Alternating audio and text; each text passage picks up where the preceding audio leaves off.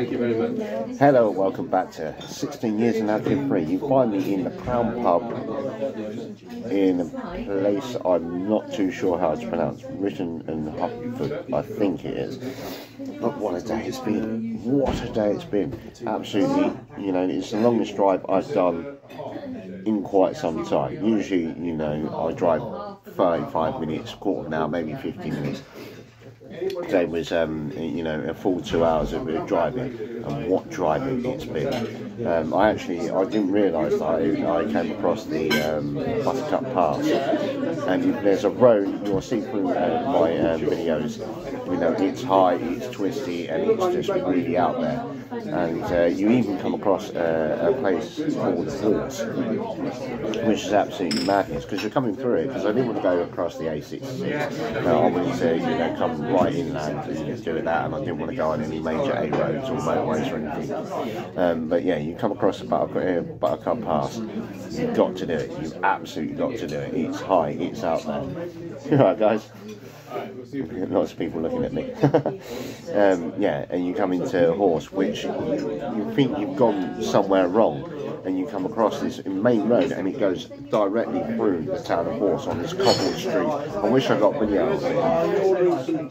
I was more interested in, um, you know, just you know, making sure that I didn't drive into anybody. You know, it, it was one of the places, and it's that road from. Um, uh, Barnard Castle, you know, place that that is, uh, all the way through to. Um, I will put it. I'll put it up in the description.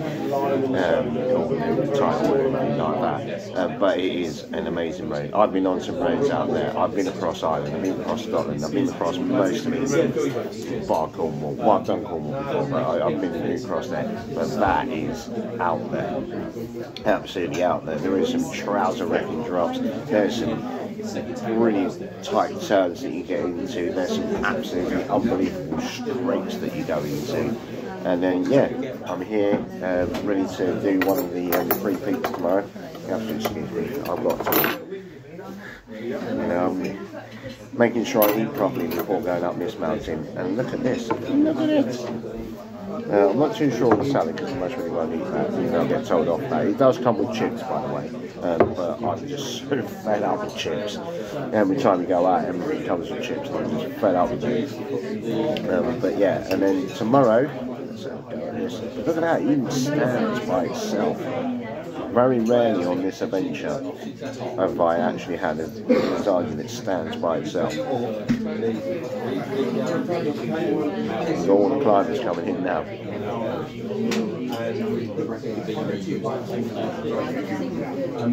What?